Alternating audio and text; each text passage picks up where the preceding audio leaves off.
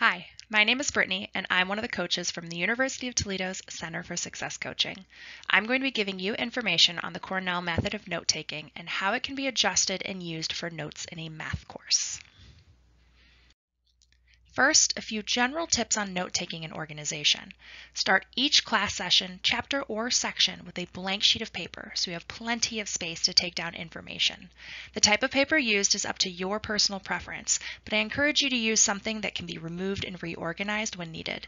Consider some loose leaf paper, blank print paper, or a spiral notebook with perforated pages. Then, keep all of your notes for one topic in the same place, such as a binder or folder, so you can easily locate information. If using a binder, binder tabs are a great way to keep all of your notes organized. Finally, use pens and highlighters of different colors and sticky tabs to mark important information. For additional tips on note taking, feel free to connect with your success coach. Now, on to the basics of the Cornell method of note taking. This method of note-taking is a great way to organize information for easy review and identification of key concepts and questions.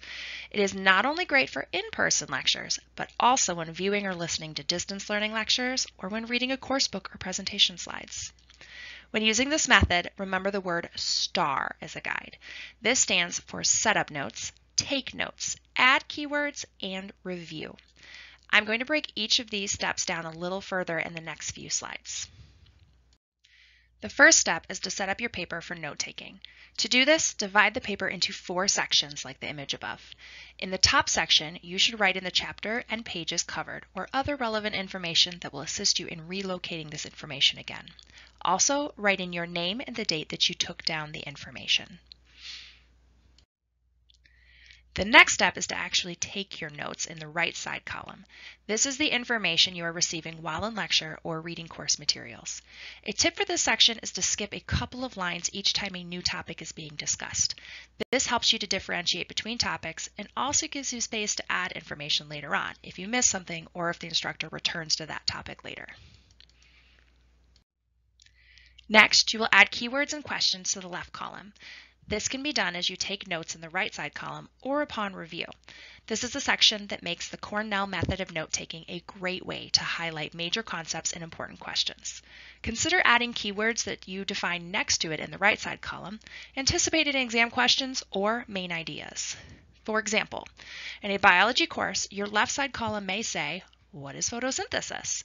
While your notes in the right side column may say, a process used by plants and other organisms to convert light energy into chemical energy, and include details on the process.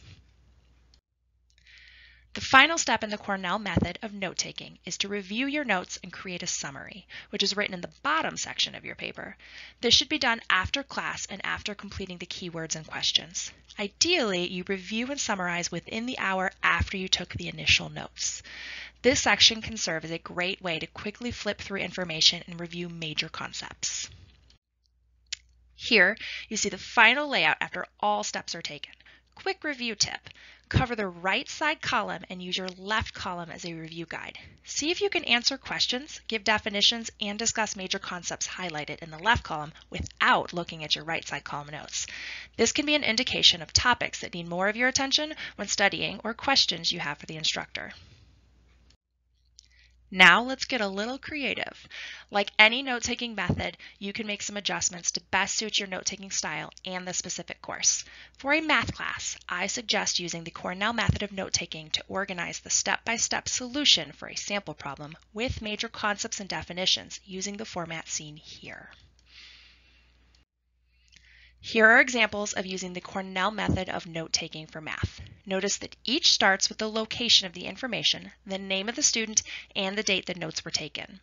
Each example shows the step-by-step -step solution to a math problem in one column, while the other gives you a more detailed explanation of what is happening in each step. Keep in mind that you could also change the width of each column or flip the questions and notes columns to best suit the math problems, since we know some areas of math just take more space than others. Notice the calculus example shows the notes and question sections flipped to provide more space for the math. Finally, at the bottom of the page, you see major definitions and concepts that are being shown in the sample problem. This is an important section because knowing the concept behind the math problem is the key to really understanding and performing better on tests.